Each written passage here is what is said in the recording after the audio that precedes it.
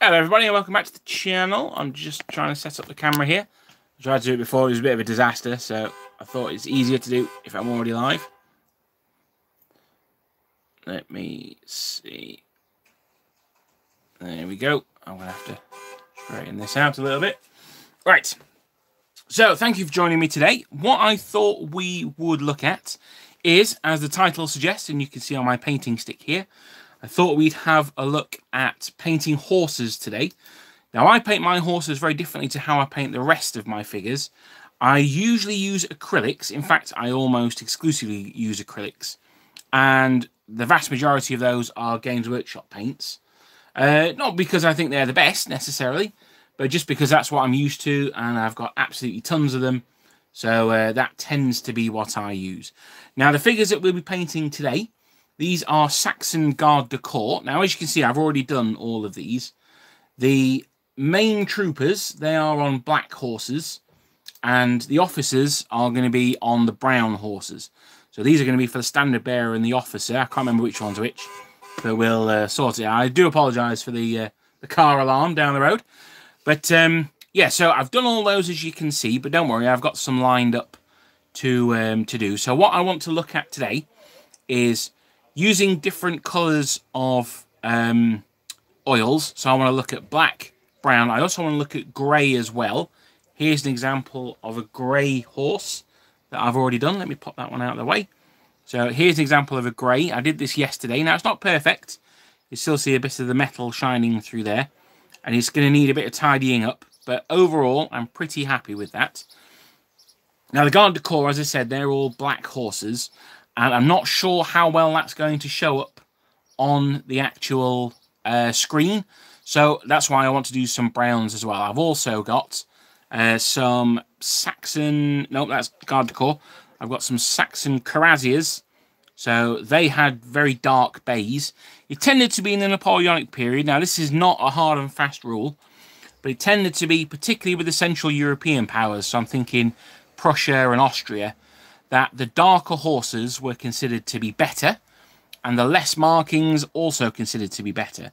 Markings were seen as being a bit of a um, bit of a sign of bad blood in horses. So I'm not sure how scientific that is. I'm, I'm not a horse person, but um, that was the thinking at the time. Now, I've also managed to get out a random Scotsman, and the reason for that is someone posted a comment yesterday saying that I hadn't uh, gone through Eagle miniatures on my um, uh, my size comparison. Now, I don't have many. Uh, these are the ones that I've got. One of the best things about Eagle miniatures, similarly to Front Rank, is that you can buy their miniatures individually. So this chap, for instance, he is a British bugler. Now, I'm recently painting up the King's Own Yorkshire Light Infantry, the Coilies, and he's going to be in there instead of a drummer. I use Victrix models for my British. Speaking of which, here's a Highlander, and he, let's see how he is in height-wise to the Eagle miniature guy. You can see the Eagle miniatures is quite a bit shorter. If we look at the Scotsman, see if I can find my tape measure from yesterday. What did I do with it? Here it is. Um, the Scotsman from Victrix, he is from foot to eye is a little bit difficult because the way his base is built up. He is about 29 millimeters, I would say. And the Eagle Miniatures chap, he is quite a bit shorter at around about 26, 27. Let's have a look. It doesn't help that the Scotsman's wearing a bonnet as well. Yeah, he's 26 from uh, foot to eye. So he is two millimeters shorter, which is quite a significant amount. But Let's also remember that musicians tended to be younger, so that's not necessarily the end of the world. And, you know, I think he's going to mix in quite nicely. I think heft-wise, we talked about chunkiness quite a lot yesterday. He's clearly a lot thinner in the shoulders than our Victrix Scotsman, but I don't think that's necessarily the end of the world. Again, these can be quite slight men. If I was getting Eagle Miniatures Grenadiers, I think that might look a little bit silly. So I would suggest that the Light Company, who are known to be smaller, more agile men, or musicians, things like that, would be absolutely fine to go alongside Perry's Warlord Victrix. He's probably more in comparison height-wise with Um, probably Foundry, not the Foundry Austrians, just regular Foundry. I also said yesterday, I put it in the comments. I kept talking about Wargames Factory. I don't know why. Um, they, they weren't Wargames Factory at all. It was the uh, the engineers of the guard. They were from Casting Room Miniatures, not Wargames Factory. So that's everything from yesterday out of the way. Have a quick check at the old um, chat there. Morning, Steve. Nice to see you, dude. Uh, now let us. Oh, hang on. Hang on, hang on, hang on. I don't want to do that. I don't want to be able to hear myself. Good lord. Right. So what I'm going to do is I'm going to start off with this figure here. Now this is from the set of Perry's British aide de camps.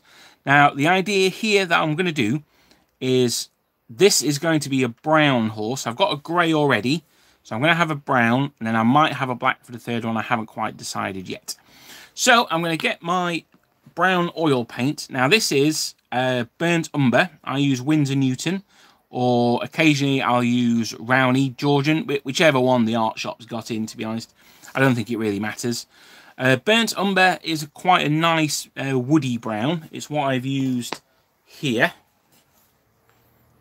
Uh, and I think that's a really nice brown for horses. I can see I've missed a bit on his belly there, so I'll sort that out later. Um, now, the the thing to do is, remember with the oils, that they last, they, they're wet, effectively, for absolutely ages. So it means that you can squirt some out and then come back to it later. The problem is, though, it means that if you squirt some out, it's going to be wet for absolutely ages. So I tend to use things that I can just throw away when I finish using it. So that's what I'm going to use this packet here for. I'm going to put a little bit out on there and we'll see how we go on. So there we go, maybe a little bit more. So I'll squeeze that back in there. Pops the lid back on. So we can see there, I've got a fair bit. Uh, let me try and get that in the camera. There we are. Um, now this should be enough for one horse. If I was doing multiple horses, I'd need more than that. And I get quite a large brush. This is a Humbrol Hello one. Uh, as you can see, it's a very wide brush. It's quite soft though You can use harder brushes, I've, I've heard that said, but, um, but I prefer to use softer ones. I'm also going to get some terps as well, with this being an oil-based paint. You can't use water to wash it out, you need terps. So I've got that to one side. I'm going to have a little dab, and I'm just going to mix that in there. Now, the key thing here is, don't let the paint get too thin. You need it thin enough to run, but you don't want it too thin, and you'll see why in a second. But let's get it painted on. Like I say, you need it thin enough that it's going to go into all the, uh, the nooks and crannies, the crevices. But you can see here on the rump that the white shining through. So that's too thin there. So I'm going to get some more oil paint. Let me get this on the old uh, on the cutting mat there. There we go. Now for this one, I'm not going to do too many markings on. He is the horse of an aide de camp, so he is going to be pretty uh, pretty high quality because ultimately this is the guy who gets your orders around the battlefield. You don't want him on a rubbish horse. So I'm just going to have one stocking there on his front left leg. And I'll go down there like so. Make sure we get in front of the saddle strap there. Told you I wasn't a horse person. I'm sure that's got a, a specific horsey name. But uh, a saddle strap will do for me today. I'm sure someone will let me know in the comments what the, uh, the proper name for it is.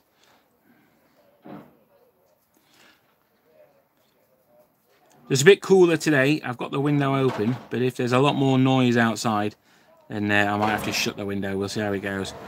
If he starts um, angle grinding again, then I'm definitely going to have to. I think he's remodeling his back garden or something. But uh, he seems to be making a lot of noise doing whatever he's doing anyway. Now, the paint's going on very thick here.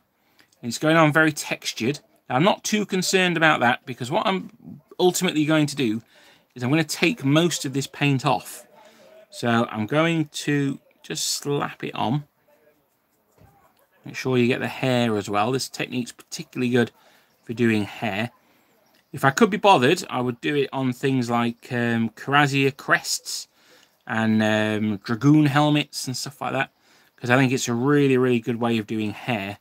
But uh, I, I, can't really be asked, to be honest. It's, uh, it's too. It's it's going to slow down the painting process too much if I did that. I don't think the effect is worth it when you're trying to paint whole armies of men.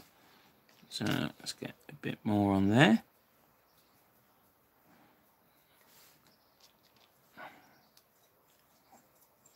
Again, let's get it on quite thick. We don't want it to be too thin. I think that's him pretty much done. I'm just going to slap a little bit on the bellies of these guys who I missed yesterday. Pop that on there. Put that there. I know you can't see this. I know this is off camera. I do apologise. I need to get a funny angle, though. To do in the horse's bum crack. Right, there we go. Let's make sure I've done this one. Oh, see, I missed a bit on his tail there. Let's get that done. Fantastic. So, what I'm going to do now is I'm going to wash my brush out. Now, try not to wash your brush out too much because every time you're getting the terps on it and you risk thinning down your paints in future. But uh, let's get that on there.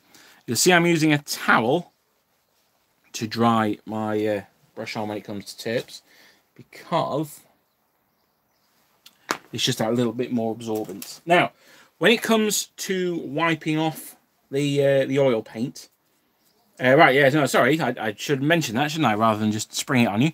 Uh, so what happens next is you wipe off the excess oil paint. So what you need to do with that is you need a cloth. Now, tissue paper, kitchen roll, things like that, they're not going to work because the problem is with things like that, you've got the fibre in them and the fibre is going to end up coming off and sticking into the oil paint. So you'll end up with a horse that's covered in um, like little bits of white fluff. So that's no good. Uh, so what I'm going to do is I'm going to use a cloth. So something like um, a handkerchief or in this case, an old pair of Keks is absolutely perfect.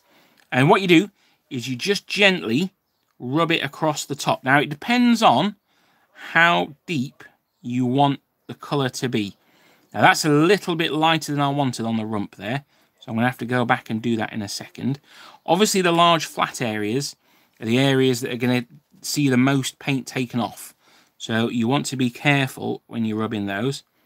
I get my finger in there and just rub this bit off there, like so. Now, one of the things to be careful of as well is you can get you can see the direction that you rub the paint off if you're not careful. You get like um, almost like paint um, paint lines, like if you're doing a wall or something like that, the trying thing, the thing that you really don't want. So you just need to be careful of that as well. Might be worth doing it in different directions so you don't get that too much. That's a much better rump there, I think. By using the single finger, I'm getting quite a lot more control and I'm getting a much better, much result that I'm after. So let's see. So I might be too much off the muscle of the leg there. Come around to his face. Now, like I said yesterday on the sort of the trail, as it were, for this video, one of the things I really like about doing horses with oils is you get a sheen on them, a sheen that you don't necessarily get with uh, the the standard acrylics.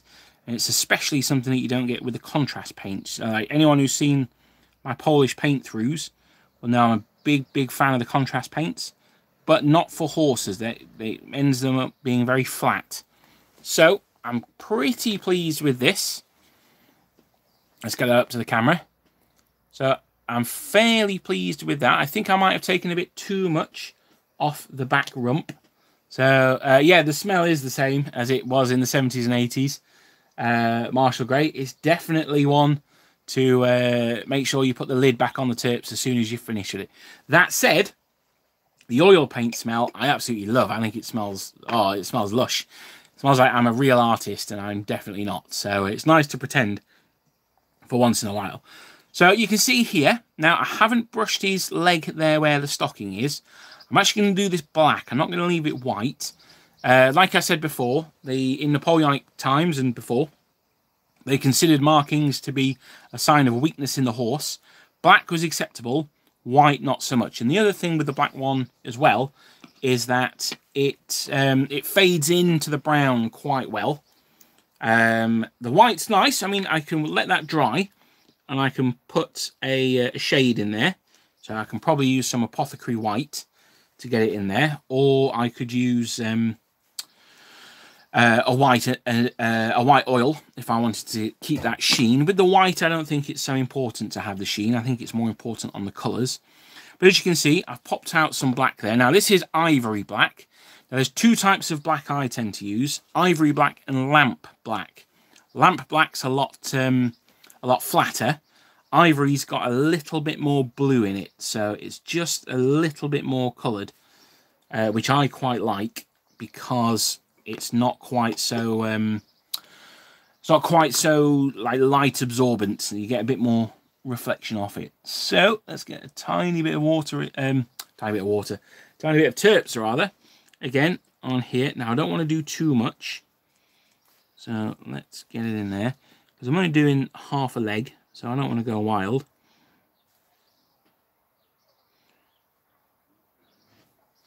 So I'm leaving, you might have seen, I haven't done quite up to the, uh, the brown yet. And the reason for that is, is I'm actually going to mix some brown and black in together and do that at the join. So I've just grabbed some brown and black. There we go. Now, this means you, oh, I just that was quite funky. This hopefully will mean that you shouldn't get an obvious um, like oh here's a bit of brown leg and bang here's black leg because that's not really how horses' legs work. Uh, their markings or any animal's markings really they tend to um, to bleed into one another the colours. So let's do it up and down. Now I don't want to do it too far up because I don't want the black to go too far up the leg. I don't want it to be a uh, like a short sock, or sorry, a short stocking, or a long sock. So there we go. I think maybe a little bit more black on the back there. One of the problems is that you can get with this technique is the metal can shine through, and that's really not what we want because then it looks like he's riding a metal horse.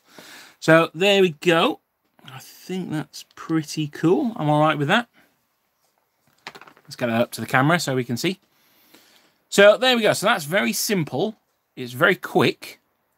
Um, and you can see there, you know, it's just that one leg. It's not going to make a huge amount of difference, but it's just something which on the model just helps him look a little bit different from if I just painted him all brown. Now, that's fine. If you want to paint them all brown, that's absolutely fine. But uh, for him, I wanted him to look a little bit different and uh, he's going to stand out a bit there. I think he's going to be on General Hill's base or you might end up being the Duke of Wellington's base. I haven't quite decided yet. So the next one I'm going to show you is this one here. Now, the reason I wanted to show this one se separate to that one is you'll see that this is for the casualty of the uh, from the uh, Eureka, Eureka Miniatures, Cuirassiers. And there's no saddle on this one. Because he's a Cuirassier, he's not on a black horse. He is on a dark brown horse, so we can use the brown again. Now, with this one, it's much, much simpler. I actually prefer the painting of these, but I wanted to show you something that you need to be careful of. So let's quickly get the brown on him. As you can see, much, much quicker than trying to paint around the detail of the other one. The reason why it's important to be neat with this is because obviously you're going to be painting acrylics over the top of, uh, say, that, that one on the saddle cloth. And sometimes the acrylics have a hard time showing through the uh, showing through the oil paints. So, I mean, you can always re-undercoat it, I guess. But uh, I'm just, I try and do things with as little effort as possible to try and get the figures out on the table as quickly as possible. So, let's see. Go up here. So there we go, much, much quicker than the other one, and I can be a lot rougher with him because we're going to wipe it off. Now, the problem's going to be is, if we look here, if we look on where his ribs are, where the saddle would uh, be attached to the um, the strap here, that's just completely flat. So when I wipe it off, that's going to leave a very light area. There's obviously going to be a lot of shadowing in there when I put the saddle on. So that's something to watch out for. Something else to watch out for. I'm not sure if you're going to be able to see it on the camera. Let's see. Uh, you can just is here. a hair has come off my paint, because, uh, off my brush. Because the oil paint is so thick and viscous, it tends to absolutely shred your paintbrushes. So keep a pair of tweezers on hand just to get rid of those. Because obviously if you try and wipe them off, you're going to wipe all the paint off at the same time, which is kind of what we want. But we want to do it more controlled than just try and get a hair off. So that's that done. We can get our cloth once again. Hang on. Could do if I hadn't dropped it.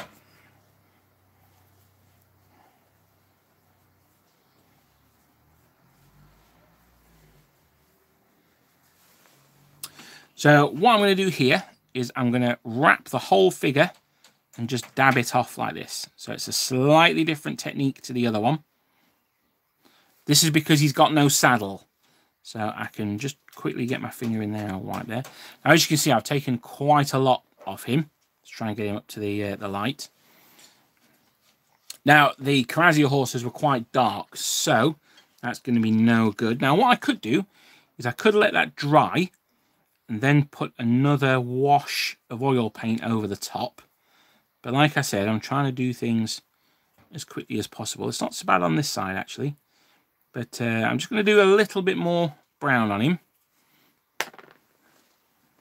Like this, if you wipe too much off, this is, again, one of the great things about oil paints. They take so long to dry that you've got plenty of time to um, uh, to stick some more on before it's dry. So just gently rub it off there, down to the legs. There we go. I'm pretty happy with him. As you can see, I've left it quite dark.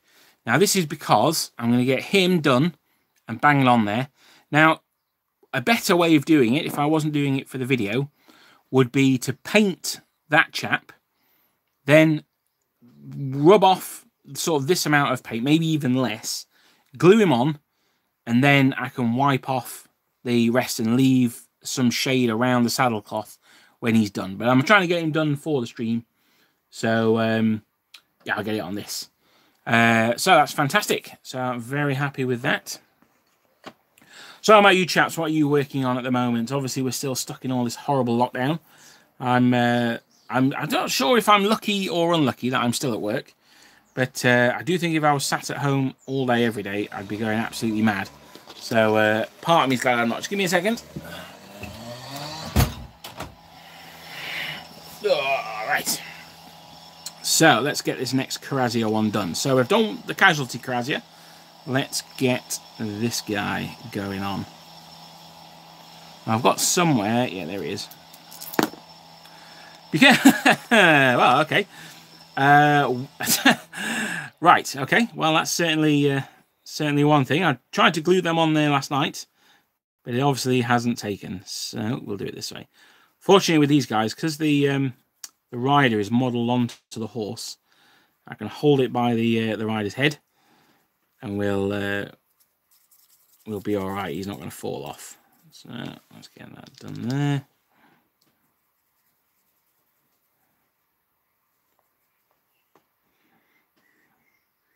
Painting French Grenadiers. Uh, very good, Steve. Is that uh, Old Guard Grenadiers or line ones for your regiments? And Miniature Empire is off it trying to paint many Russians. Yeah, I know. It never ends for the Russians, does it? I've got um, I've got 25 sprues from Warlord I ordered in their sale. And I've got them downstairs. And I know they're waiting for me. But uh, I just can't face them yet. I think I've done most of them. I sprayed them um, like Dark Angel Green and then I think I've washed them and maybe painted all the white bits grey so I can highlight up to the white. But uh, yeah I know there's just going to be loads of work to do on them. I'll be glad when they're done though. They're uh, they're nice figures actually. Ah line grenadiers. Ah very good. Are they the uh, the new Perry's ones?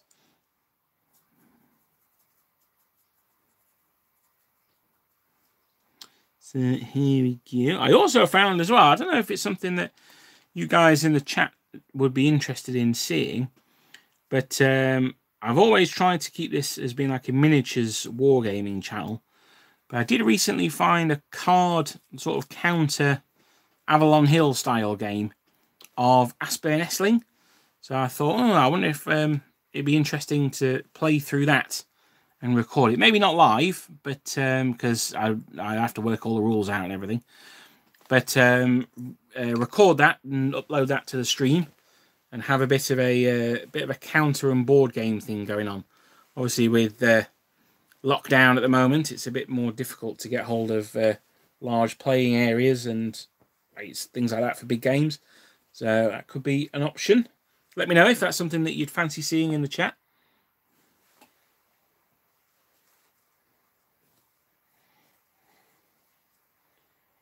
Uh, I'm just trying to sort my cloth out again. Sorry.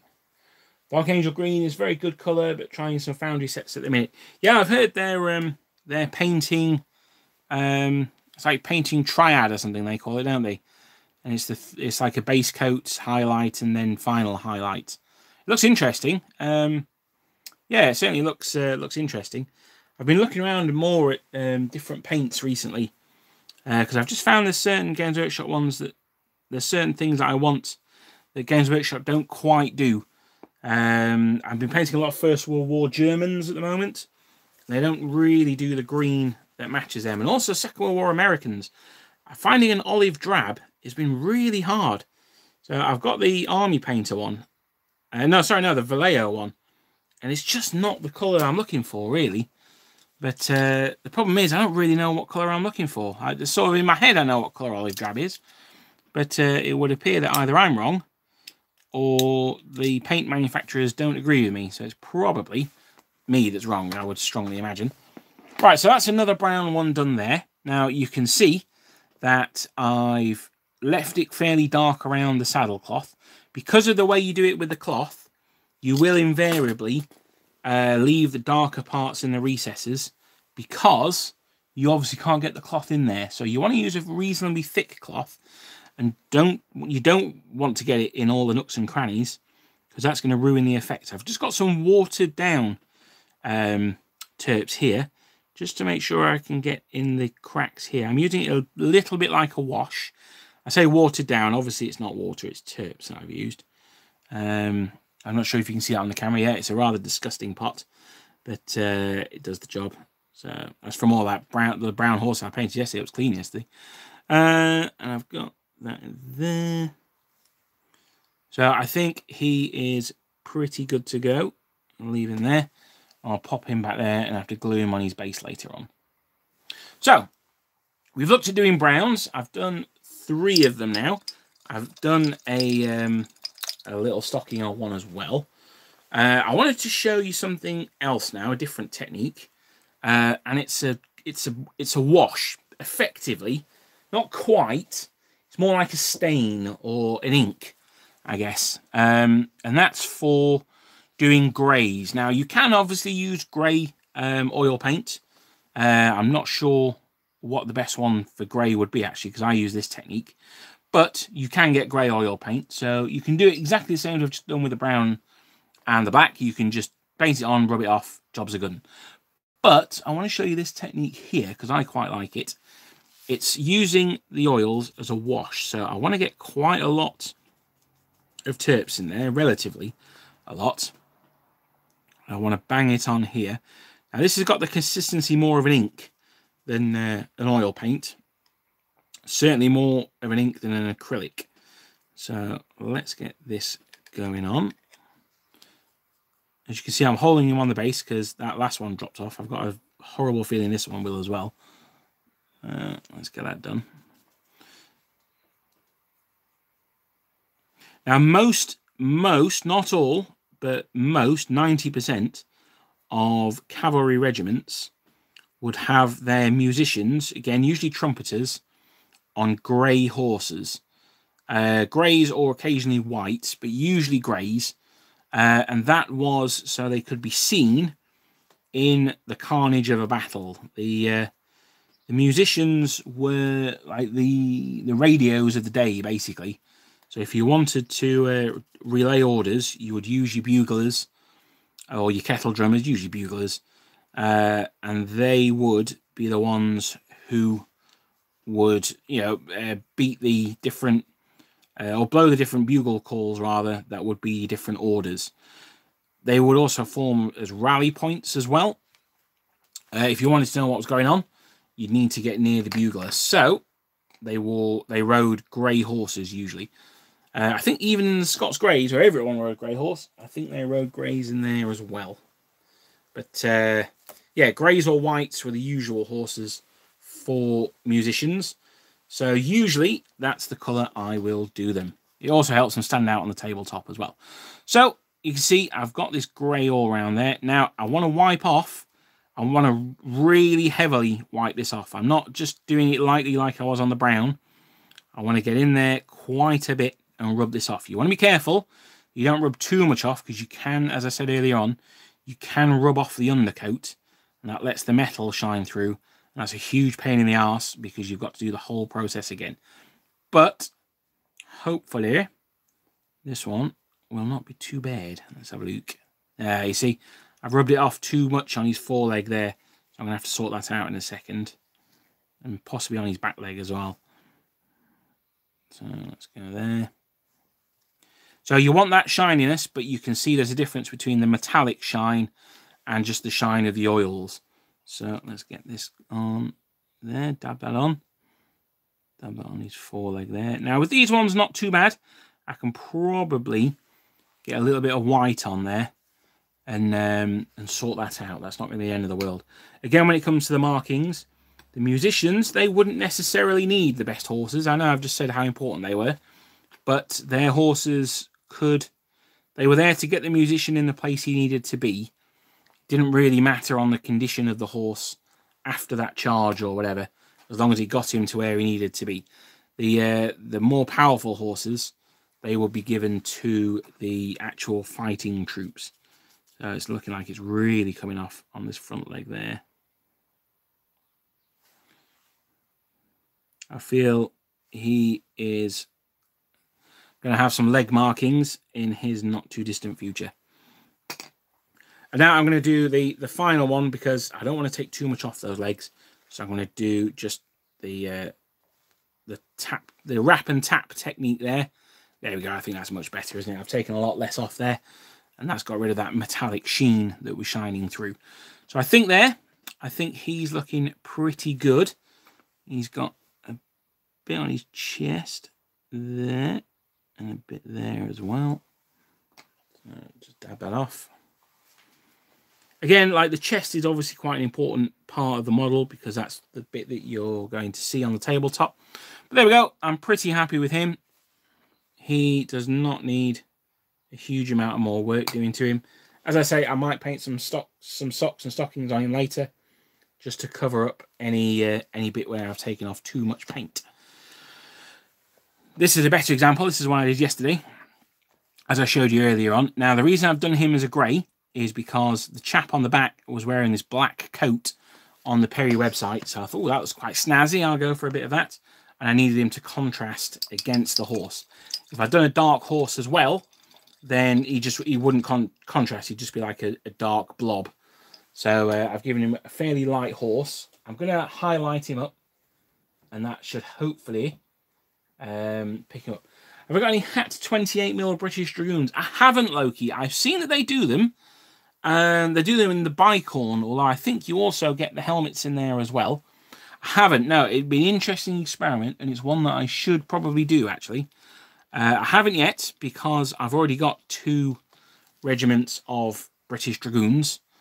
But in the... You've, to be honest, you've just reminded me about them. So, in the future, I think I will have to get a box of those and see how they compare to the others.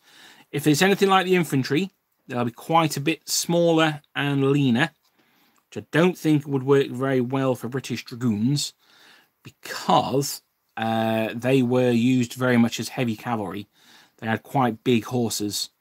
Uh, but, yeah, no, no, it's a fair point. And uh, to be honest, I'd completely forgotten about them. So thank you for reminding me that they do, in fact, do 28 mil uh, British Dragoons. It was something I saw and I thought, oh, that's interesting. But uh, I never got around to to getting some. But yeah, my if if they're anything like the infantry, they're going to be quite a bit smaller, and I think they're going to be a lot slighter as well. So yes, my my thought would be don't mix them in with anyone else. But uh, that's just speculation. I don't know. So just grab a bit more of this. I mean, uh, this is it really. I didn't necessarily have a huge amount I wanted to uh, to impart with you guys today. This is just a technique of how I do horses. It's not the only way. It's probably not even the best way, but it's uh, it's how I do. It's quite an old school way of doing it. My dad taught me how to do this, um, and I do think it gives good results though. So I do quite like doing it. What I, the way I tend to do it is because I've always got a million projects on the go at once. Is I'll save all my cavalry and then I'll be like, right, I'm doing an oils paint. So now I get all my cavalry from every period, you know, Assyrian cavalry or chariot, horses, or um, uh, you know, Medi- uh, my Norman knights through to my Napoleonics, through to my Death Corps of Krieg, Death Riders, whatever. Uh, get them all together at once and then just do a massive batch of them. So I'll end up doing 40 or 50 horses only one go. And it just means that I can put all the oils equipment away uh, until next time then and not have it lying around. When we used to have exercises, if we had, um, if we did like blank, uh, blank firing exercises, then went to live fire, you used to have to strip down all your kit and lay it all out and then let the uh, NCOs come around and check your kit. And then you had to go around and check everyone else's kit to make sure there were no, uh, no blank round left in the when you went live or vice versa. It was more important vice versa, really. Um, so I feel I always feel a bit like that when I'm uh, moving between acrylics and oils. So there we go. Just dot this guy there. You can see I've left a dark line there behind the back of his saddle cloth. That is very much on purpose. That's to give me some um, some definition there. So there's an obvious transition. Now I've wiped way too much off the legs there. So this is where I'm going to get my black. This guy can have a sock. As I say, you can give them white stockings, obviously, or socks, or whatever you want, blazers. So there is a little bit of room if you do make a mistake. It's not necessarily the end of the world. The question is, it's just how do you camouflage that, really? So this guy here, as you saw there, I added in a bit more terps just to make it flow a bit easier. It's a shame because the inside of the leg's really nice, but uh, never mind. So get that on there. And then when you're wiping it with the cloth, make sure you wipe into the join. So you make sure that it rubs in nicely. You don't want it to uh, to be an obvious transition. I've done it again. I wiped too much off. Good lord. Right, there we go.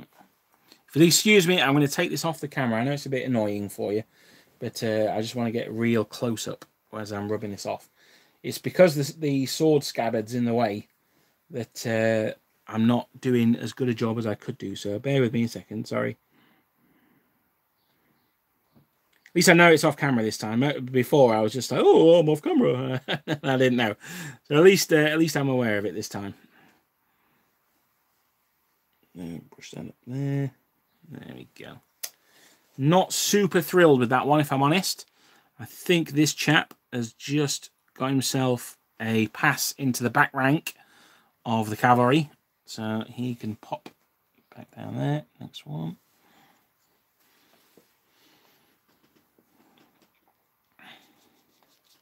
So yeah, I've got two regiments on the go here. I've got uh, two Saxon units. Like I said, I got them from Eureka Miniatures. They well, I did well. I sort of got them from Eureka Miniatures. They are Eureka Miniatures, but I got them from Fighting 15s, who used to be the supplier for Eureka Miniatures in the UK. They've now set up their own. Well, there is a Eureka Miniatures UK, which I have heard is um, you know been set up by them. I've also heard that it wasn't set up by them. It's like a separate company, but they are the official stockist. Uh, either way, the figures on the UK one are actually really expensive. I'm going to take him off that base before he falls off. Uh, the UK ones are really expensive. They're, I mean, each cavalryman is, I think he's four pounds ten, four pounds twenty, which um, I mean, I don't mind paying for stuff, but that's uh, that seems a little excessive. Uh, no, balls. Uh, so, what I managed to do is get these from Fighting 15s for just over £2 a figure. Uh, which I think is much more uh, much more reasonable. In fact, that's actually cheaper than the Perrys sell their miniatures for, and I think they are as good as the Perrys, uh, but a little bit cheaper. So I don't think you can uh, don't think you can knock that. Also, I'm not sure the Perrys do Saxon uh, Saxon cavalry. As with a lot of the smaller nations' cavalry in the war, uh, the Vistula Legion is a really good example of this. The cavalry didn't actually fight alongside the infantry. They were just subsumed as part of a heavy cavalry division or a lancer division or whatever. Uh, and often sent into a completely separate corps, actually.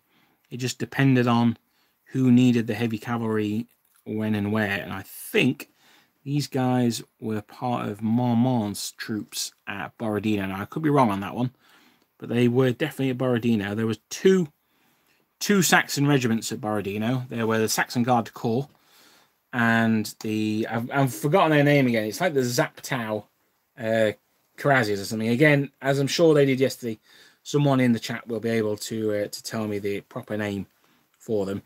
But they um uh the Saxon Guard Corps they left their breastplates in their baggage which hadn't caught up to them for the time of the battle. So they actually fought without their breastplates, um, which means that every Saxon Guard Corps figure ever is made without a breastplate. When really, I mean, there's only that one battle that they didn't have them. But uh, it does help them stand out a little bit. They've got these very funky sort of orangey white uniforms that they wore as well. So they're a, they're a good looking unit. Now this this figure here, he is looking much better than that last one. So this chappie has just earned himself a spot in the front rank. Yes, he has. There you go. So let's pop him back there.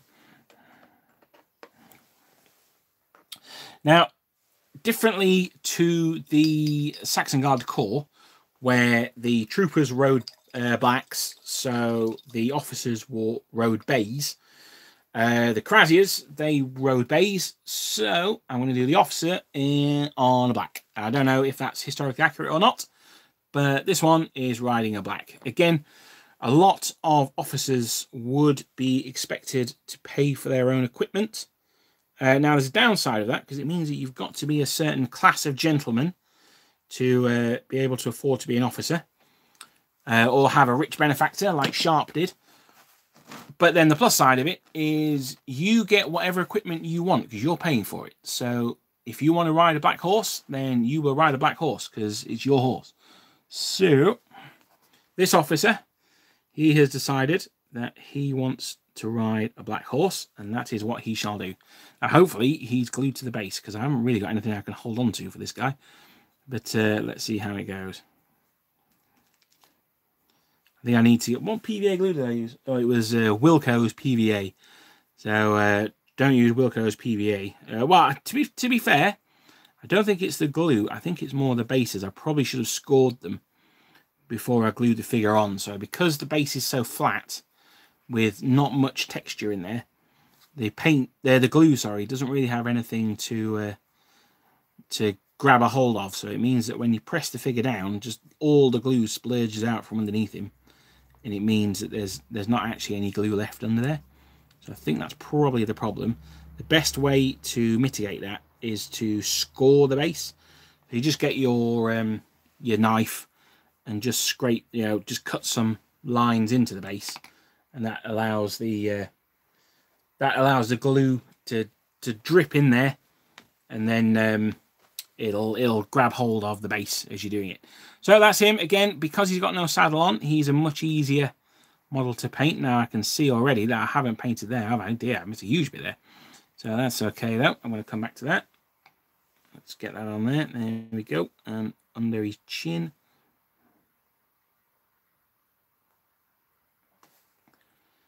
And around there. Lovely. Again, because it's oils, you can always go back and add more because it certainly won't be dry by the time you get round to uh, to rubbing it. So that's fine. I'm going to do a little bit on his tail there. Not too much. Try and keep it a bit thicker on the tail if you can, because it's got all the um, the texture on there. you uh, you don't need to rub so much off. Oh dear, I missed a big bit on his belly as well, haven't I? But um, there we go. Again, if you've missed bits and then you have to go back, don't worry too much because it's going to help blend it in. Uh, and that's the key. You don't really want you know, an area of one colour and then that colour stops and then another colour starts. It needs to be a lot more blended in. I'm just doing some light light painting there. Carry on. Paint technique you're using I use for painting my large 80 120 mil horses. Uh, you are right about the sheen on the horse, even though I paint my 28 mil acrylic for speed of drying. Yeah, absolutely. It's a um, it's one of those things I find with the cavalry that I don't mind the horses taking a bit long to dry because what I will do, uh, obviously it's difficult to do with these guys, but what I'll normally do is I'll paint the horses first and then do the riders afterwards. So while the horses are drying, I can be painting the riders separately and then bang the uh, bang the riders on the horse, hopefully when they're both dry. I've just seen my camera has slipped a little bit there, hasn't it? Let's uh, try and sort that out. There we go. Sorry about that. Uh, right, so now I've got the, I'm working on the black here. Let's do another garde du corps.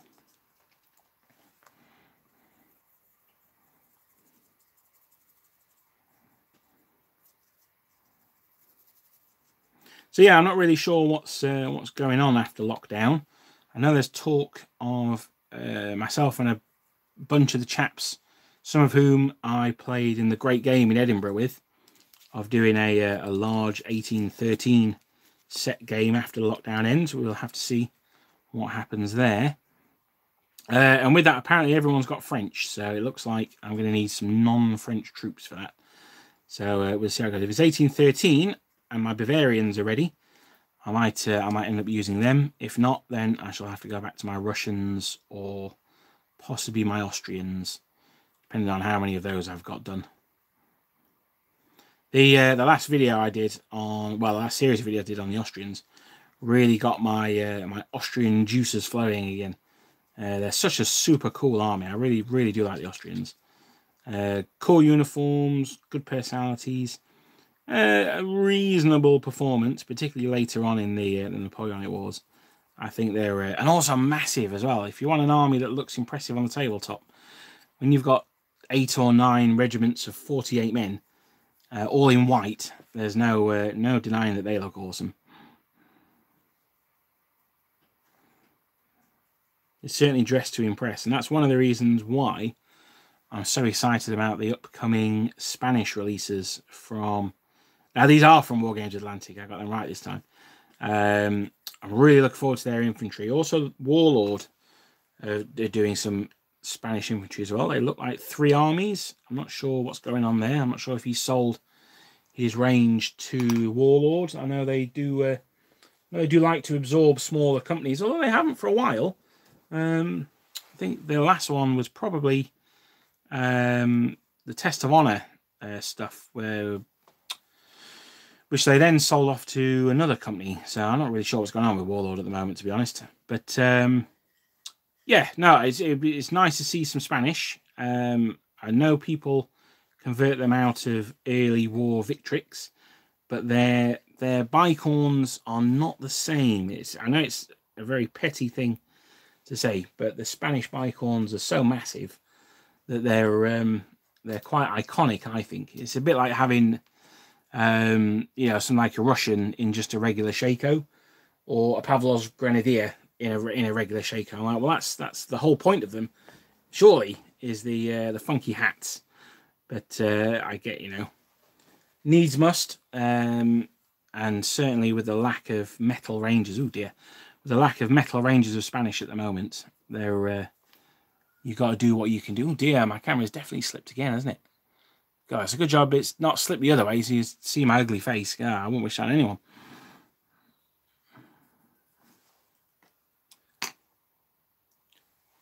Please let me know in the chat if the camera slips again. I'm trying my best, but uh, I, uh, I'm missing it occasionally. My feed that I've got on my laptop next to me is running quite a bit slow. It's running quite a bit behind because I'm getting this done up in the attic because that's where the lighting's the best. Uh, it's quite a long way from my modem So uh, I'm streaming this live off my phone, which EE have very kindly given me free data, uh, unlimited, unlimited data rather, um, during this COVID crisis, uh, which is very nice of them. Uh, it's a bit of a bummer because I had just upgraded my um, payment plan to allow me to have more data. But, uh, well, you know, I can't really complain too much, can I? So I'm running, streaming this off my phone's data. Uh, but the internet that my laptop's running off is running a bit slow. So if the camera does slip or anything like that, please let me know and I will do my best to readjust it. The thing that's absolutely terrifying me is it'll either slip and like you'll get a horrendous reveal of me looking super rough on this bank holiday weekend, or it'll slip the other way and you'll see the absolute state of my current gaming table because it's just got stuff all over it. So I'm I've cleared this nice patch so it looks like I'm very professional and I've got a uh, a nice area to work in. But uh, yeah, no, outside the uh, the borders of this frame, it is absolute chaos. So uh, yeah, no, yeah, just uh, don't want to see that. You try running Krisp noise reduction software for your neighbor's building works. I haven't, Marshall Gray. I'm not. I'll be honest with you, buddy. I don't even know what that is. Uh, I am not technically minded, but I will check it out after this stream, definitely. Um, normally, when I record, I use a Blue Yeti, which is uh, which is very good uh, and has directional recording. Uh, but for these videos, I'm not really sure. I, I guess if I had, I guess if I had like a webcam or something proper I could set up, then I'd be able to record through the microphone as well. But uh, as it is, I'm just using my phone's microphone. But no, the uh, the Krisp noise reduction I shall definitely, definitely look into that. In fact, I'm going to write it down. Hang on.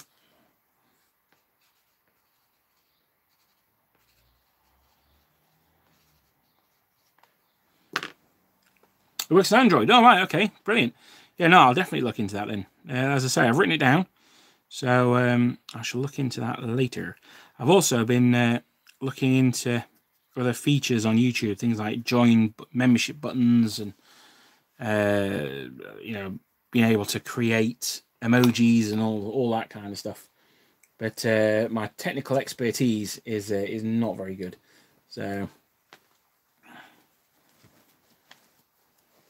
I've, I've just actually bought a new laptop, and I had to talk to my uh, to my mate about uh, oh is this any good? Is that any good? And to be fair, he did his best. I ended up buying it, and uh, to be honest, I'm a little disappointed with it. It's an Asus one, I'm a huge fan of Asus. My last three laptops have been theirs. But this one, the CPU is so slow on it. It's uh, it's not very impressive at all. It does run Warhammer Total War 2 though, so that's the uh, that's what I needed it to do. Um, there's a new uh, a new supplement for that out. But what it doesn't do is it doesn't run the mods for Napoleon Total War 2, so that's a bit bit annoying. I've also thought about doing some um, online gaming as well and uploading that, or maybe even having some live matches against you guys. So um, if you uh, if that's something that you guys would fancy seeing, I might uh, I might get that up as well. Holding figures for painting, I use double-sided industrial tape on all milk bottle tops. Yeah, no, absolutely. Yeah, yeah, this is being an absolute disaster, isn't it? I was hoping that you know this would glue them on and that would be them glued on, but uh, yeah, it doesn't seem to have worked that way. So, fortunately, because the, the rider is attached to the horse, I can uh, I can hold him by the rider's noggin, and it's not too much of an issue. Uh, you see the uh, the garde du corps. You can tell. I'm looking like, oh, which one's a Cuirassier and the garde du corps? As I say, the uh, garde du corps aren't wearing breastplates.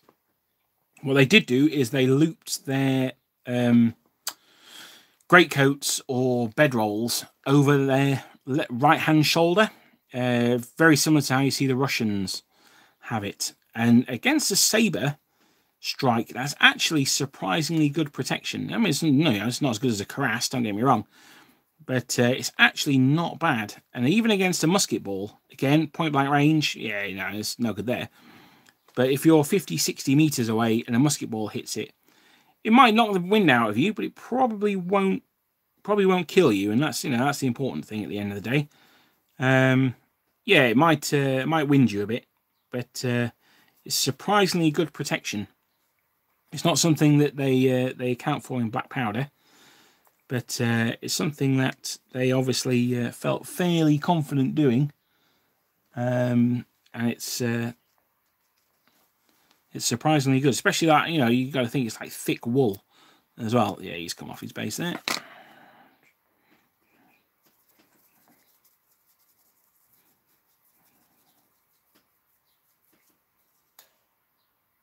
So let's get this guy on. I can see a huge hair that's come off my brush here. That's okay, I shall get my tweezers for that shortly.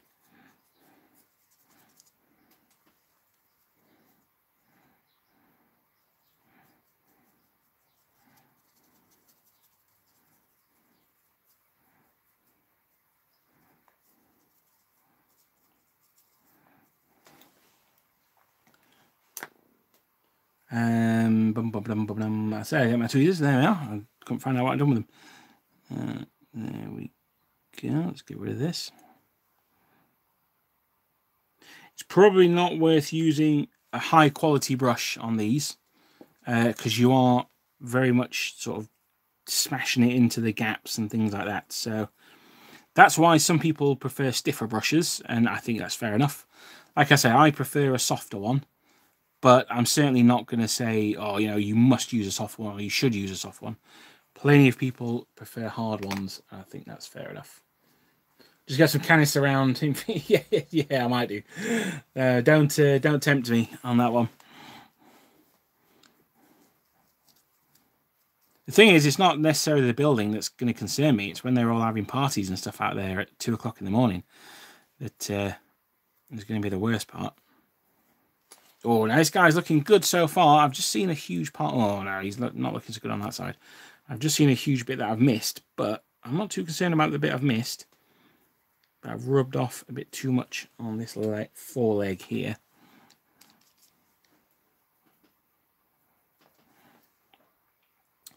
Uh, get that in there. As you can see, I've got it on the scabbard. I did say earlier on, try not to get it on the um, the saddle and things like that because that's where you're going to be painting. Uh, with metallic parts, it's not too bad because the metallics I use, the uh, Leadbelcher from Games Workshop, is quite thick. So it just adds that little bit of... Uh, the only downside is it can add a little bit of uh, texture to it. So I'm going to try and rub off as much of that as I can. It's still going to stain a little bit, but you can't have everything. Uh, just a bit off the top there. Nice. Get that in there. So there we go. I think he is going to be another front ranker. Let's get that stretched taut there so I can do a bit of rubbing there. Lovely. The problem is, it's when you've got uh, six guys in the front rank and your painting's going on and you're like, oh, no, you can go in the back rank. But he's like the eighth figure that you've done that with. So, uh, oh, I've just looked at my uh, hand wiping it off on a cloth there looks rather grim, doesn't it? Right. Okay, so um, what to do next is the question.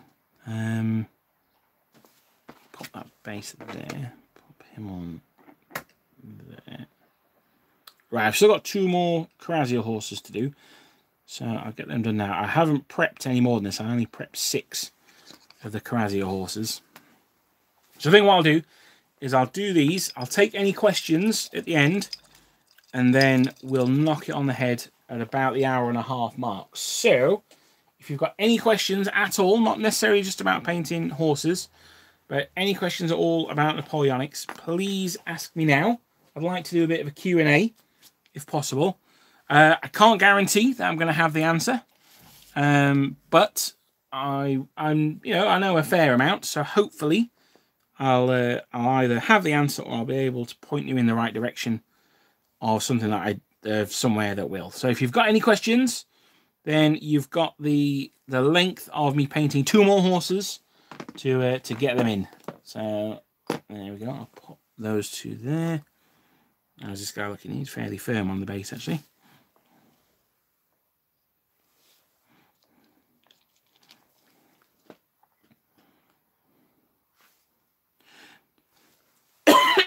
Excuse me.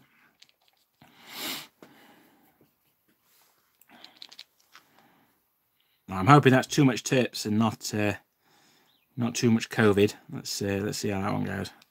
Oh no, I shouldn't say that. I shouldn't say the c word, should I? I uh, I get demonetized if I do. Oh dear. Uh,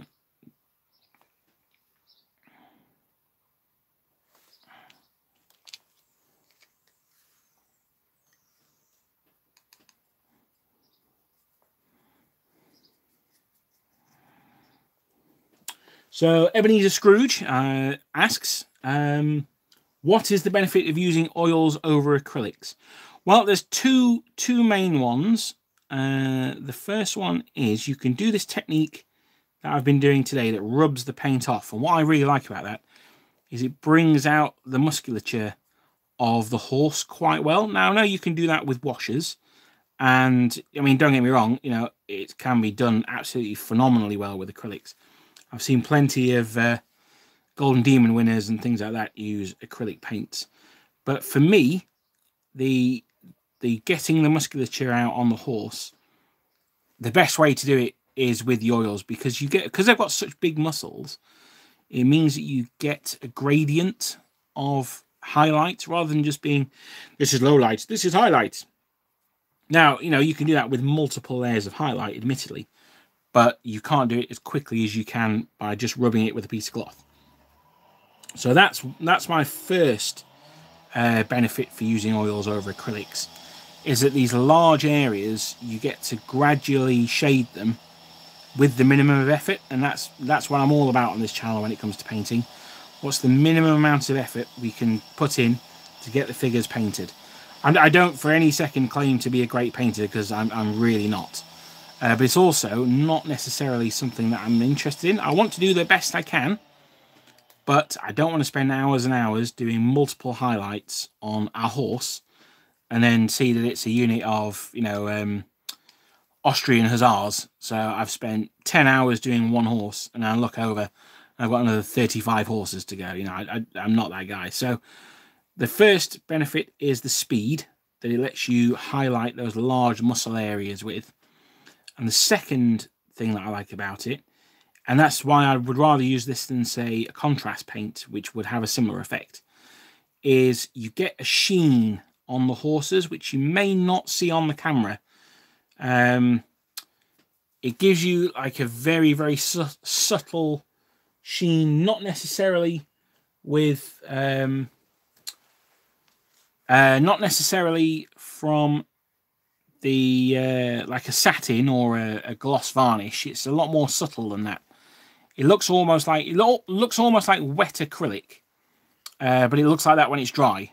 Um, so you get a nice sheen that horses have, particularly when they're sweating. They uh, they're very shiny through their um, they're very shiny through their uh, their fur. I guess it would horse fur, horse hair, hair. I guess it'd be, wouldn't it? Uh, I'm just trying to think what, what, the word for the, the stuff that covers a horse is. Um, yeah, through their hair, they get their their sweat glistens through that, so they get very uh, very shiny through that. So I think it has that effect really nicely. Uh, uh, no chance of catching fire with all the terps fumes.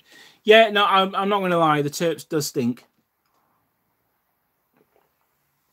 On a day like today, though, it's not too bad because I'll be able to open the window. In fact, I can probably open the window now. He's just done some... Uh, I think he's doing fence posts. So I think he's just hammered the last one in and he's just cut another one and he's gone to do that. So hopefully it's not going to be too bad. But um, yeah, if you just make sure you've got an open window because it can be a little too... Uh, can be a little pungent.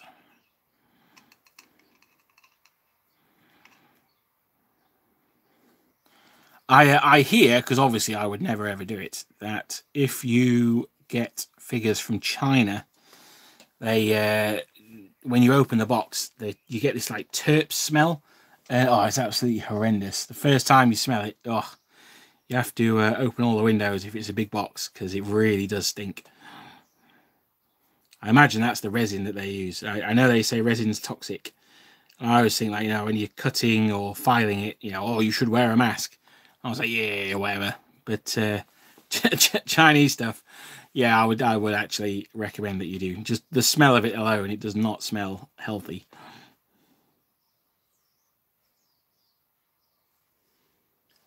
Manolo is talking about painting a Spanish infantry line Italian 50 mil. Ah, very cool. Any particular one?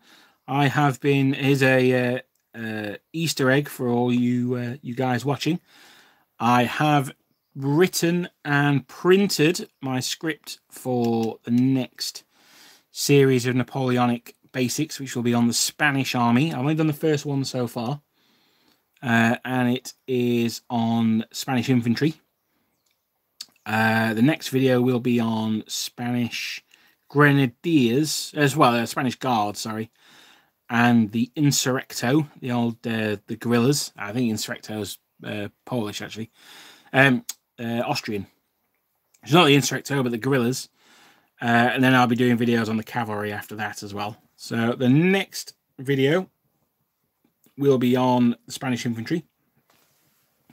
Uh, I've also got a Napoleonic figures one lined up as well. Because I've already written it once. And did, it's on my old laptop. And I threw the script away by accident. I'm sure I did because I can't find it anywhere. So um, I'm going to have to rewrite that one, which is a bit of a shame. But that one is on a British officer of the Portuguese army. So I'm quite looking forward to doing that one. Carl Button, what about Games Workshop contrast paints? Yeah, well, I mean, as you know, I'm a huge, huge contrast paint fan. Uh, one could even say fanboy.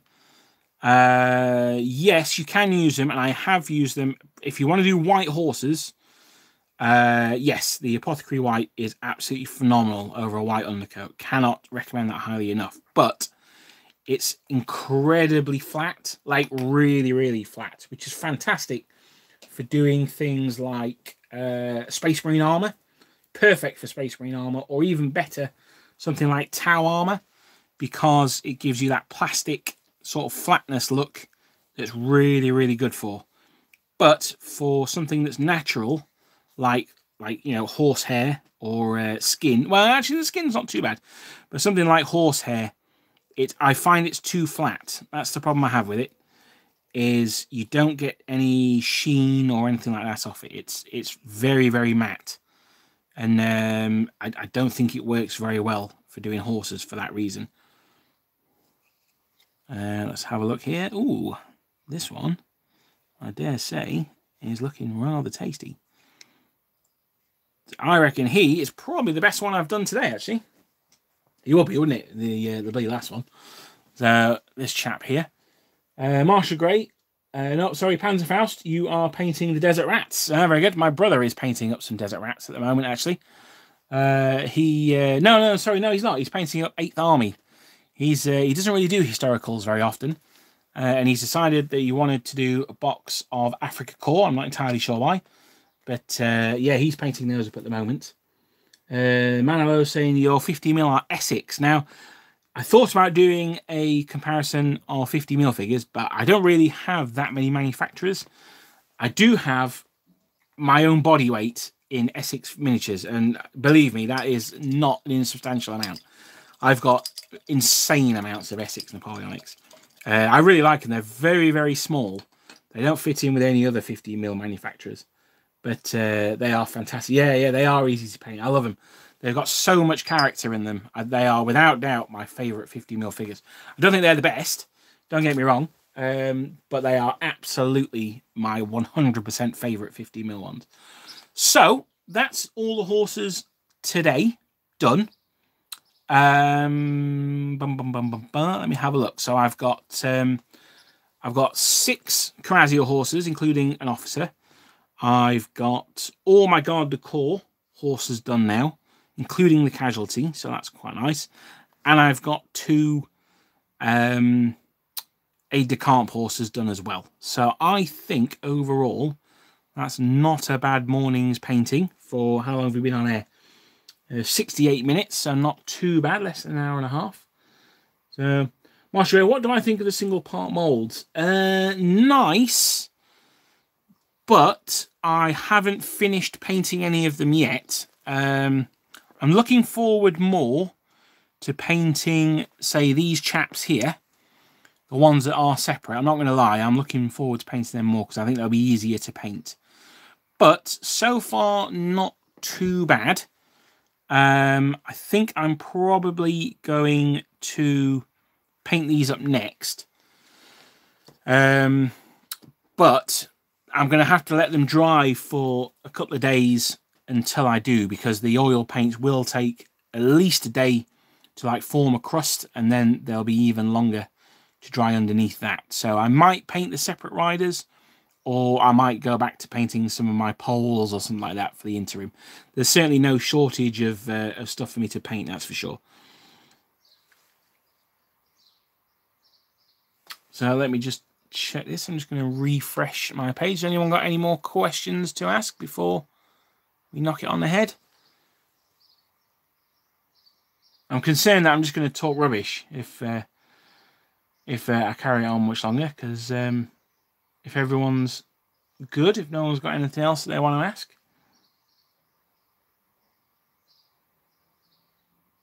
Um, no, no, it doesn't look like it. So I will sign off on this one. Thank you very much for watching, everyone who has. That's a very brief demonstration on how I do horses. Now, as I say, it's not the um, it's not the only way to do horses. I'm not even going to claim that it's the best way to do horses, but it's the way I do horses, um, and it means that I can get through quite a lot in one one go. You have to be a little bit careful with the wiping off of the paint. That's a bit of a technique, but you you know you get used to it as with anything else that you do as a technique. Um, other than that, the main downsides of it are you obviously need specialist equipment. You need terps, and I would strongly recommend that you have separate brushes. That you have these are my brushes for oils. These are my brushes for acrylics. I wouldn't mix the brushes, but you know I, I don't know if there's any particular reason that you can't. But for me, I, I just I don't like to have brushes that I use for both. Do you need a special special pants rack. no, just just use any pants that you've got lying around. The uh, the scruddier the better. Uh, try try and wash them first. I, I would suggest you use clean ones. Um, but the reason I use them is because they are uh, you don't get bits of fluff or anything like that off them like you would with kitchen roll or a tissue paper. Uh, you want something that is quite stretchy, as you saw there because then you can stretch it thin and just use that to get the parts off. So actually, joking aside, uh, they're, they're, actually really useful. So um, yeah, yeah, clean ones gamers, yeah, absolutely, yeah, yeah. If if it's the only time you ever wash your pants, then do it just before you turn them into an oil painting rag. Now, uh, the reason that I've um, used this one, another reason is I can fold that over, and that'll keep anything getting covered in oil paints my strong, strong recommendation, and this is from lessons learned, is that once you finish with your oil paints, you've put them on something disposable and you just throw them away. Because in two weeks' time, you'll have completely forgotten about your oil paint and you'll stick your finger in it and it goes absolutely everywhere. And it's a massive, massive pain in the ass. So this is the majority of the units. I did these yesterday.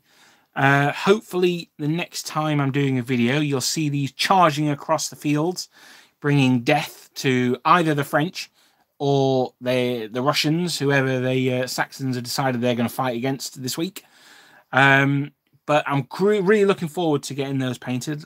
Excited about them. As I say, they are Eureka miniatures from Fighting 15s. I know I keep banging on about it. I'm not being sponsored by Fighting 15s, although, you know, I'm open to it if they want to. I'm not being sponsored by Eureka either. I'm definitely up for being sponsored by them if they're up to it. But uh, I'm just saying because they are in stock, they're available while they're in stock. Once they're gone, they're gone. So if you if you think you might be interested in getting some different heavy cavalry, get them sooner rather than later because I think they've only got one regiment of the Garde du Corps left. I accidentally tried to add 119 to my uh, uh, to my basket, and it said, "Oh, we've only got 20 odd left," and I bought nine of them. So uh, yes, that is it for today, chaps. Thank you very much for watching. I hope you are not having too bad of a hot of a bank holiday weekend. And I'm not sure when the next one will be. Probably next bank holiday, to be honest, which is what two weeks, two weeks away, I think. Uh, I might do one then. If you've got any ideas of something that you'd like to see me do, then stick them in the comments either on this video or on my Facebook page. I do have a Napoleonic Wargaming YouTube channel Facebook page. It doesn't get a huge amount of traffic, but um, I update when I've got new videos and things like that on there. Probably should more, do more with it, to be honest. But uh, I'm going to knock it on the head there. Thank you very much, everyone, for watching. And stay safe. And I hope to see you in a couple of weeks when we'll have another painting session. Might be a bit longer that time. I might do another battalion of poles or something like that. But thank you very much. See you then. Goodbye.